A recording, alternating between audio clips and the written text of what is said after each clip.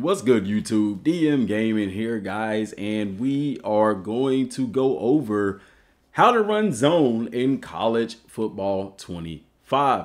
And if you already know, then that's great. You know, probably don't have to watch this video, but these are for the people who may be struggling learning how to run the ball efficiently. Now, to me, the run game is the easiest thing to do in the game but for some people, maybe not. So I am going to use Texas as you know, I'm a big Longhorn fan, and we'll go into practice mode and we'll break down the running formations and or not the formations, but the scheme, zone run scheme. So I do want to go to concept that makes it easier. I can go to run here and you have several different plays. So you have your buck, you have your inside zone, you have your jet inside zone, uh, another inside zone. These are all out of different formations. Texas playbook, they run the spread. They do a lot of RPOs. And in teams that you tend to see that do a lot of RPOs, they tend to run a lot of zone run concepts because zone runs are to me um they're good they're good run schemes to base our RPOs off of because even in, in, in RPOs all the offensive linemen are doing are zone blocking you know you don't get a lot of pulling guards pulling tackles, and things like that. So looking, I'm just looking at their plays because with the majority of them being zone, then yeah, you're gonna see different formations here. So let's just run guns tight open. Let's run inside zone. Um, you have your inside zone here. You also have your power. You have your outside zone counter draw, ISO, sweep. And if you want to see some of these other running concepts, let me know down in the comment section down below. But for today, we are going to cover inside and outside zone. And first, I'm going to start with inside zone. So we'll just do a random play with L3. All right. And then for the defense, I'm just going to put them in a random defense. Okay. They can literally come out in anything. All right. So the concept with inside zone now, a lot of mistakes that people, or one of the biggest mistakes that I see people make as far as running the football is as soon as the running back get the ball, they want to get onto the sprint button and try to run and do things like that. And that, like I tell you, in a simulation game, you want to play it as close to simulation as possible. So with that being said, running backs are taught to be patient. You want a running back that's patient. You don't want them to just be all gas, no brakes. You know, be patient, let your blocks develop. And when you see a hole, you hit it. So running inside zone here, all right, I'm going to do what everybody else do. I'm just getting on the sprint button and I'm just running. See, it's ineffective because you can't make any kind of cuts. You know what I'm saying? Be patient, let your blocks develop, and then when you see the hole, sprint through the hole. Now, every back is different. They don't all have the same acceleration. Uh, so you do want to be mindful of that. Okay. But try to do as best as you can as as far as getting to the hole, hitting the hole. Now, inside zone works a little bit different than outside zone, and we'll cover that here in a second. Let me switch controllers real quick, and I'll be right back. All right, just had to switch controllers, so I didn't want that one to die on me in the middle of recording. So inside zone right here. All right, a lot of times what you may see with an inside inside zone run scheme, you may end up getting a double team or something like that. They're in a four-man front on this particular play. You got the block coming around. Be patient. Let that guy block for you. You do not need to beat him inside whenever you have that type of block. Okay, cross block here to block on the backside by the tight end. See how they double team, go up to the next level, and that opens uh, up for you to be able to run through the ball. Okay. Hand off to running back here. I mean, hey, if they get in the backfield, they get in the backfield. But just be patient. Don't get on to the, the sprint button as fast as you can. But also in situations like that where you get penetration, this is why it's also important not to get onto the sprint button.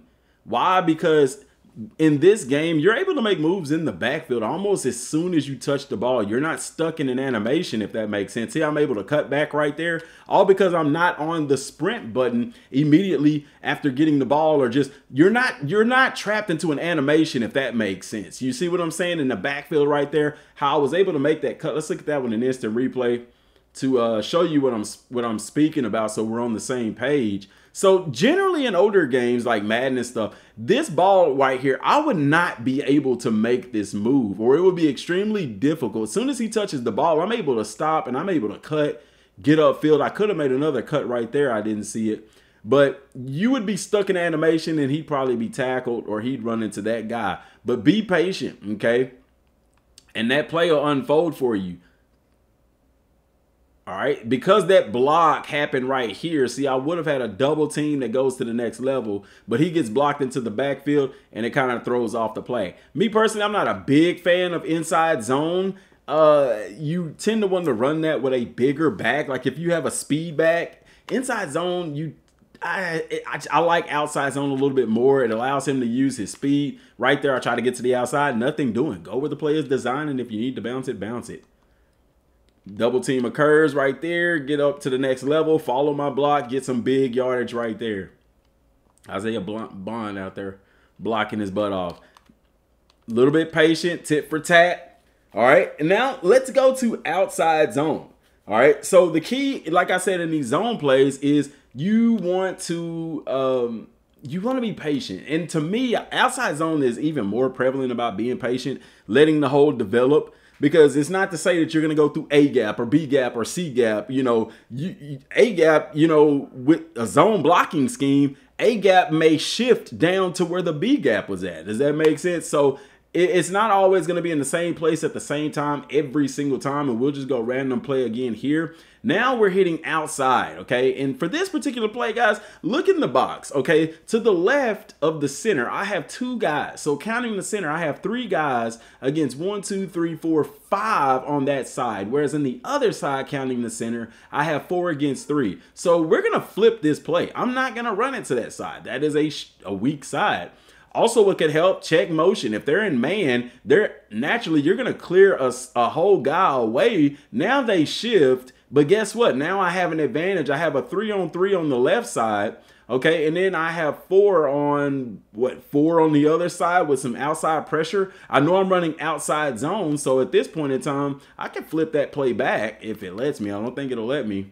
Nope, it doesn't let me, so I can't flip that play back. Oh well.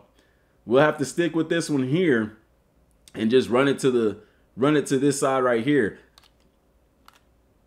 And I try to get outside right there. I had a hole right there. I just, you know, didn't hit that, but it was definitely there.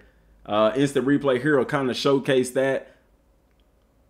That hole is right there. I could have followed right behind that guard, but I made the simple mistake that a lot of people make in trying to bounce it because, hey, look right there. It's there. You know, I seen that that guy was getting off of his block and kind of made that move early, but they didn't pick him up, and it's fine. It happens. We don't always get 100 yards rushing every game. Be a little bit patient right there. See how that opened up right there? That is a perfect example to me of how outside zone is ran. So I really want to take a look at that one, not just because I scored on it, but because this is the example that I was looking for. So for outside zone, it's different than inside zone. See, normally this play is designed technically to go kind of to this A gap, uh, kind of really behind the butt of this guard. I mean, the tack, the, the guard, yeah, number 76 right there. But see, when I get the ball, now that hole shifts. A gap is occupied. You see the backer is flowing to A gap. So now the next gap over is going to be, um, it's not going to be the A gap. Now it's going to be the B gap. All right, this next gap. But see, that closes. So what do I do? I have to bounce that. One on one right here, I make a move, my back, I'm taking his number on that any and every time. And that's really what the backside B gap that came open. Be a little bit patient, find your lanes, and go, man. You might be able to bounce it to the outside. You may be able to hit it up in there and get two, three, four, five yards. Don't always look to bounce it with the outside zone schemes. Man in motion right here. Let's bounce it out there. I got blockers. I can get out there. But see, if I if I just get on my sprint button and just haul butt out there, then they're gonna tackle me. I'm, I'm not gonna get many yards. Be patient right there. I can bounce that, make a move on this guy right here, get some yardage upfield. Outside zone is really good. I really like outside zone a little bit more than inside zone.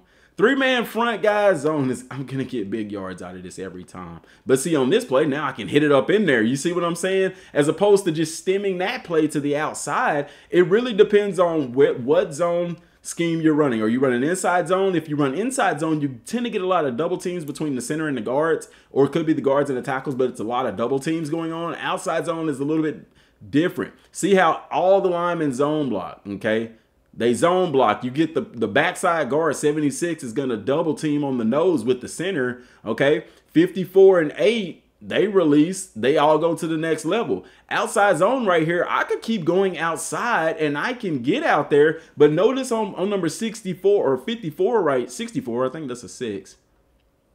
Yeah, on number 64 right here, this defensive end has outside leverage. So chances are, if I get there, I am not going to get there. He's going to be able to tackle me because he's got that outside shoulder free. Also, the defender that number eight is blocking also has outside leverage. But what I see here is my guard, who I should be looking at and following, double team block on the center between the center and the backside guard. On the play side guard, he's releasing to the next level. I'm going to follow his big butt in there because I'm banking on them getting that double team. Now, see, I have two ways to go. I can continue straight and go through the right side of that guard, but notice that arm is free. And I'm understanding that this game allows you to have real good control over the players. So I cut right here, right off of his butt for a big game. I go inside on an outside zone. Now they're stacking the box. Okay. So this play, you know, if I'm doing it before the snap, pre snap adjustment, I'm going to say, wow, I'm probably going to have to hit this inside. Let's see.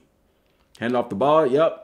Try to cut it back. The center just gave up too much leverage right there, and he was able to get into the backfield. But the hole on that particular play definitely wasn't the outside. I was not getting outside on this particular play. The center blocks down. The play side guard is actually seems like he's pulling and kicking, but the penetration right there from the center he gets in the backfield just a little bit and it throws off the path of the ball carrier. That hole was definitely there to get off of his butt and get upfield, but backside pressure, he comes untouched. The backside end does, which you might say, well, why'd they let him go?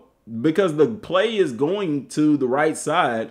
In a good scenario, the backside end shouldn't run this play down. I should be hitting that in there. But oh my gosh, the hole was definitely there. Handoff right here, outside leverage. Tried to I tried to cut that in and then bounce it back out. Just didn't work right there. All right. Now, this is you're not going to tend to get a defense line up in this formation. They're in prevent, which is crazy. All right, we're going to we we're gashing them every time with this. This is why I like uh zone on um run plays or out of the out of the uh, uh and shoot offense. Handoff right there. Be patient. Let that hole develop and bust up in there, man. I should have bounced that out to the outside right there, but just trying to give y'all a look. Outside zone to me is more effective with a more agile lineman um, and a back that has really good ball carrier vision and a good change of direction. If you have a good change of direction back, zone is going to be really good for you because he's able to get into the holes as quick as possible. Same play right here, man, going in motion. They're bringing a blitz. Try to make a move in the backfield. He comes untouched. Nothing you can do and just try to get back to the line of scrimmage. Same thing right here. See, follow that double team. It doesn't always have to hit wide. Get up in there. Get up in to those trenches. So looking at that one, that's one that once again it hits it the outside zone play that hits really pretty much that A gap. See how that A gap is extended?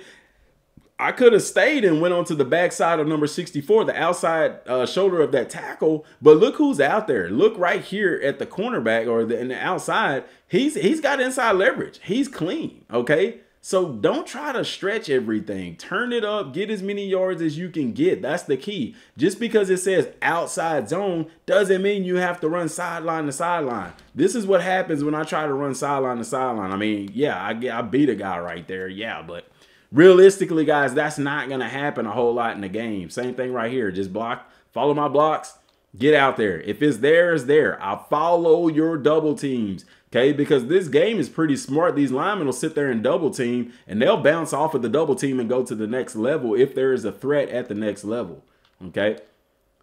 This one I can bounce out. I got a little bit of speed. I can get out there on the edge. Okay. Playing this just a little bit faster to my seat right here.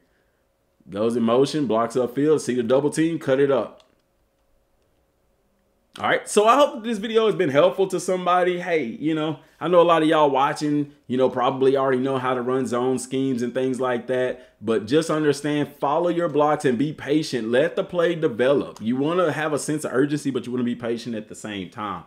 But hopefully, like I said, this helps somebody who didn't or isn't familiar with zone and base and all that kind of stuff. And, you know, maybe it's going to make their run game just a little bit better. Guys, that's all I got for right now, y'all. Till next time, thanks for watching. Peace.